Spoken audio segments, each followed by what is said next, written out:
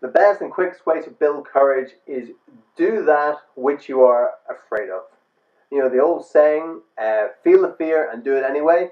That's exactly it. When you feel the fear and then you do it anyway, that, that is what is called courage.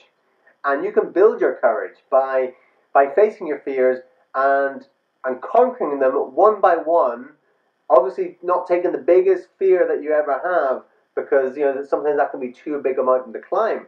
But taking the smaller fears, conquering them, that builds your courage, builds you up enough that then you can take on the bigger fears that you have in life.